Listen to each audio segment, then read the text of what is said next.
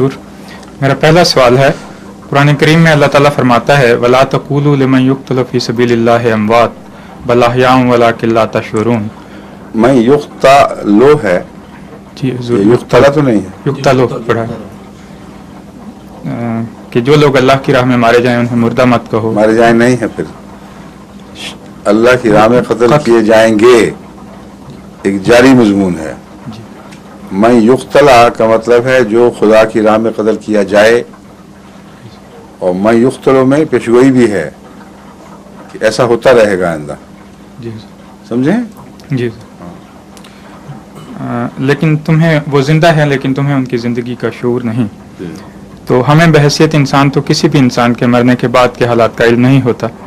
तो एक नेक इंसान जो खुदा की खातिर ज़िंदगी बसर करता है अगर वो तभी मौत मारा जाता है तो उसको जो मौत के बाद ज़िंदगी मिलती है, क्या शहीद को मौत के बाद मिलने वाली ज़िंदगी, उससे कोई इम्तियाजी हैसियत रखती है? इसे तो यही लगता है मैं युक्तलो फ़ी सबीलिल्लाह है जो भी खुदा की राह में कत्ल किया जाता है, या कत्ल किया जाएगा, उसको मुर्दा ना कहो। जो मर जाता है तभी मौत उसके मतलब कहीं पढ़ा आपने कि उसको मुर्दा ना कहो? नहीं पढ़ा। बलायान नहीं ना कहा? नहीं। तो फ़र्क ज़ाहिर है। फ़र्क तो लाजिम है। फ़र्क यह है कि उसका शूर जो शहीद हुआ है उसमें मरने के बाद कोई इबहम नहीं रहेगा। जबकि दूसरे जो मरने वाले हैं वो एक दफ़ा डूबते हैं फिर शूर बेदार होता है रफ्ता रफ्ता एक दफ़ा अचानक डूब जाते हैं, फिर उभरते हैं।